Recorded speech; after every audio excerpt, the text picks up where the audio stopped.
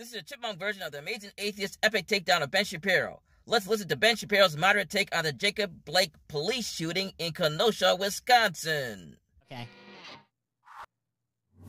Ben. The ben Shapiro show is sponsored by ExpressVPN. Protect your. I don't care. And then he reaches into a car and then they shoot him. Yep. And this prompted the likes of Joe Biden to issue awful statements on this whole thing, jumping to the conclusion that this was once again systemic American racism against black Americans, an unjustified shooting of an unarmed black man caught on camera. Yep. That nothing had preceded it. Everything just happened the way that, that Benjamin Crump, the attorney, said. Remember, Benjamin Crump's claim was that Jacob Blake Benjamin Crump was a. I'm just gonna play him. I'm not gonna fucking stop him. I'm just gonna talk over him when I'm and pissed. then pissed. walked away, and the cops for no reason just decided to follow him and shoot him. Well, it turns out no one—no one came out with that narrative, First dude. All, it turns out, as we knew yesterday, I mean, I don't know, maybe Joe Biden did, but I didn't see anyone push Jacob that narrative. Blake for things including sexual assault and domestic violence. And Joe, that none of this stopped Joe Biden from putting out the statement yesterday. This kind of sucks because I've already gone over this. Jacob Blake shooting in the absence. But the Shapiro zone is meant to torture me. So evidence to come out. He said yesterday in Kenosha, Wisconsin, Jacob Blake was shot seven times in the back as police attempted uh-huh. to restrain him from getting into his car. His children watched from inside the car, and bystanders watched in disbelief. Now, no, no mention of the fact that this was a man for whom there was an arrest warrant out with three kids in the back of his car. Now, typically, so what? you have a guy out that's a warrant to arrest him. That's not a warrant to kill him. What this was, it was sexual assault. That's not a license to kill. That's a license to arrest. Dipshit. According to statutory law, somebody underage. The typically you don't let that person get in the car with kids and drive away. But in any case, yeah, Joe well, Biden then wrote, don't let him get in the car. From inside the car and arrest him. And morning, you can arrest him without shooting him seven times. Excessive force. So he's just going to go right with the excessive force line. This calls for immediate. Line? He was shot in the back seven times in front of his own children. He already knows the outcome of the investigation, which is magic. And I definitely trust Democrats on preliminarily jumping to conclusions, considering that Kamala Harris and Elizabeth Warren and many members of the Democratic Party are still claiming, years later, after two independent prosecutorial investigations, state prosecutors in Ferguson, Missouri, and one Obama DOJ investigation, that the shooting of Michael the Shapiro Brown, doesn't feel like a reward. Anyway, have some money, you excellent bastard. It's not a reward. It's a punishment. Trust these people. this is to, make me suffer of criminality. And I am. Joe Biden said these shots pierced the soul of our nation. Jill and I pray for Jacob's recovery and for his children. Equal justice has not been real for Black Americans and so many others. We are at an inflection point. We must dismantle systemic racism. So this was an element of systemic racism, apparently. He still didn't know whether the shooting was unjustified. He still had no evidence, even yeah. if it was unjustified. Uh, no, anybody who watched that tape and come to the conclusion that it was justified is a moron, or a fascist, or a racist, or all three. We are yet to attain that all in your case, yeah. Treated equal, but more importantly, that they must be treated equal. And by the way, I love this guy. He's like, "There's no systemic racism. There's no systemic racism." I was on his Twitter earlier today, and he was bitching about, "Oh, there's so much anti-Semitism in America. Oh no, the Democrats so anti-Semitic." He's the first to play the race card when he when it comes to playing his little Jew card, dude. Like, "Oh no, I'm persecuted because I'm a poor Jew." oh no, wham wham, boo hoo. But you can get like a brief view here of what's going on. So this is but when it's anyone else's race, when it's any other fucking oppressed minority, then it's like, oh well, that's ignore them. But my my fucking complaints as a Jew are totally valid. That Jacob Blake is basically on the ground, right? And then he shakes the officers loose, as you're about to see, and he gets up and he starts walking away from the officers who now have their weapons drawn because he's resisting arrest. And so this is what the tape shows. Uh-huh. Right? He literally throws off the officers. He's, he's struggling. He's resisting arrest. People are standing around shouting at the police officers. He gets up and he starts walking around the car.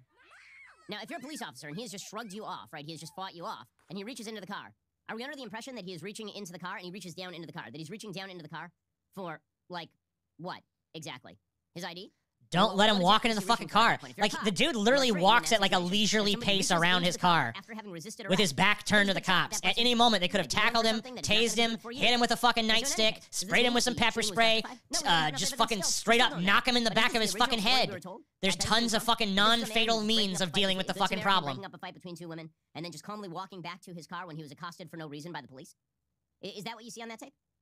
So, bottom line is this maybe everybody should wait for more evidence to come out. I know, controversial. Maybe everybody should wait for more evidence to come out. But no, we jump to the conclusion. Dude, when someone gets shot in the back seven times, I don't need more evidence forever. to come out. There's no line. justification for American it. Racism is always even if he was shot every situation. Even if he was shot once in the back, if, if he was shot once in the back, maybe there'd be like some kind of like, well, maybe we should wait for more facts. But he was shot seven times in the back. Department of Justice and the state seven times.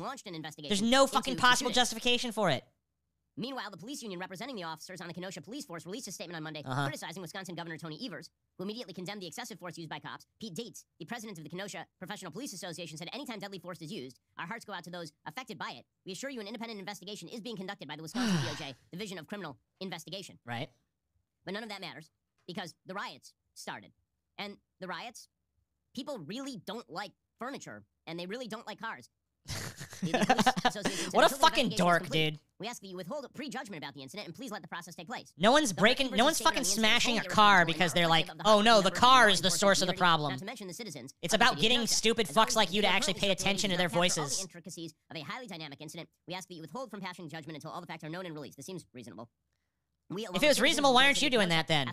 I don't think it's reasonable, so I'm allowed to fucking have whatever judgment I want. Those things until last But you're jumping to conclusions while saying not to. Politicians decide they can make hay. Because to your, in your mind, the default is trust the In no way does police. this make America The default is the official story must be true. in the United States. When you claim that every individual incident is an indicator, a symptom of a broader systemic problem, and without You mean like you do every time someone says anything? Every time someone criticizes the scene for Israel, it's anti-Semitic. Suggest Every time, whether it's whether it's a valid criticism of Israel or not, it's always anti-Semitic in the eyes of Ben Shapiro. He plays that race card as hard as he fucking possibly can.